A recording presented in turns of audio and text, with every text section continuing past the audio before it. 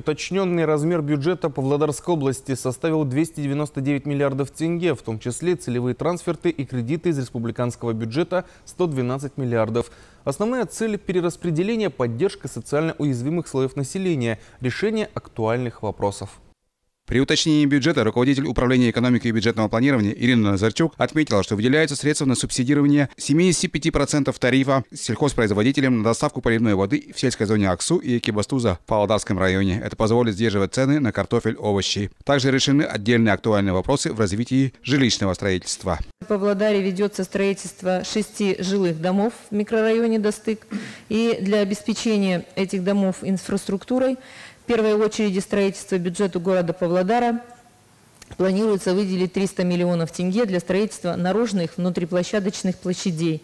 Это э, э, водообеспечение, теплоснабжение, связь. В Павлодаре дефицит 10 тысяч ученических мест. Решать этот вопрос начнут с возведения пристроек к трем школам и разработки типового проекта учебного заведения на 1200 мест. Глава региона подчеркнул, что для детей с ограниченными возможностями будет налажено дополнительное лечебное обеспечение. А в Павлодаре откроют кабинет коррекции для детей-аутистов. Для поддержки социально уязвимых слоев населения приняты и другие решения. По области будет определен единый подход и размер социальной помощи семьям, воспитывающих детей-инвалидов до 18 лет. Сейчас в городах и районах эти выплаты осуществляются по-разному, от 2 до 15 месячных расчетных показателей. В этот раз мы решили охватить равной финансовой помощью в размере 27 РП, это 55 тысяч тенге, все семьи данной категории, независимо от диагноза, а это порядка 2600 получателей. Я думаю, такой унифицированный подход э, является абсолютно справедливым.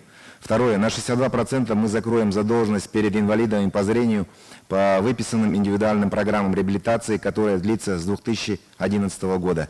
290 инвалидов по зрению получат читающие машины и специальные ноутбуки. На следующий год э, технико-вспомогательные средства получат еще 180 человек. В регионе продолжается работа по оптимизации расходов бюджета, что является одним из приоритетов в посткризисном периоде, сказал Аким области. Абылкаир Искаков затронул еще одну тему. Футбольный клуб «Иртыш» не будет играть в премьер-лиге, так как он не в состоянии выполнять свои финансовые и спортивные обязательства. Согласно законодательству, долги клуба нельзя покрыть за счет бюджетных средств. Мы перераспределяем средства на, с профессионального спорта на любительский и детско-юношеский.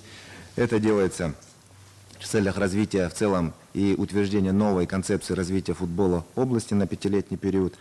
Эта концепция, этот документ сейчас находится на стадии глубокой проработки, и в ближайшее время мы вместе с футбольной общественностью будем рассматривать этот документ для того, чтобы его принять.